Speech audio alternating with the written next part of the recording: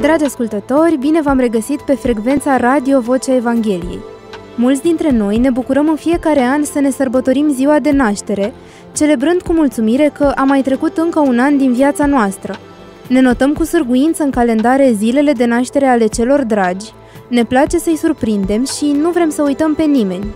Însă câți dintre noi ne-am întrebat ce vârstă are chiar pământul care găzduiește viețuirea noastră?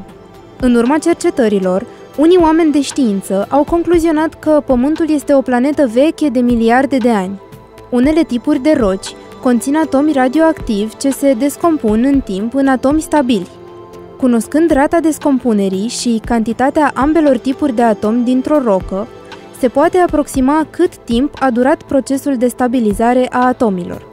Astfel, s-a observat că există posibilitatea ca planeta noastră să fie apărut acum 4,5 miliarde de ani.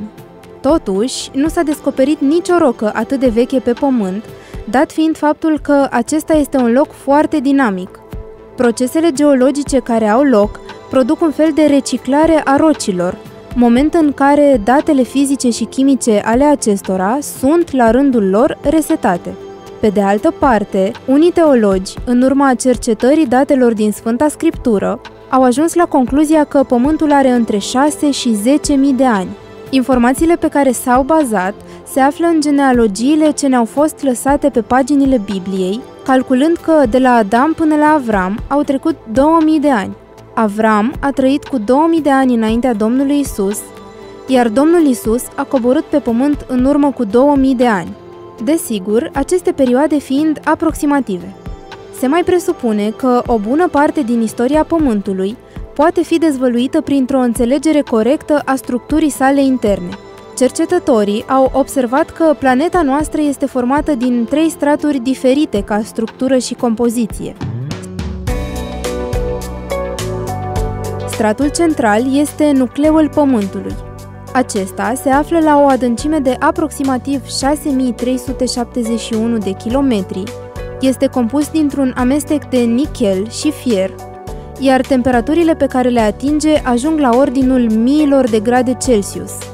Cel de-al doilea strat, care înconjoară nucleul, este mantaua Pământului, formată din minerale și oxizi metalici, adâncă de circa 2900 de kilometri și care găzduiește bine cunoscutele plăci tectonice.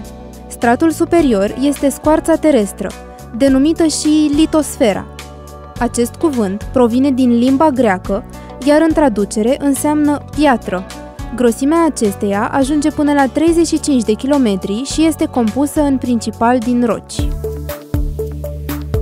O parte dintre aceste informații au fost confirmate în urma săpăturilor, din care a rezultat gaura de foraj de la Cola. Scopul acestor săpături a fost parcurgerea cât mai adâncă în straturile ce formează Pământul.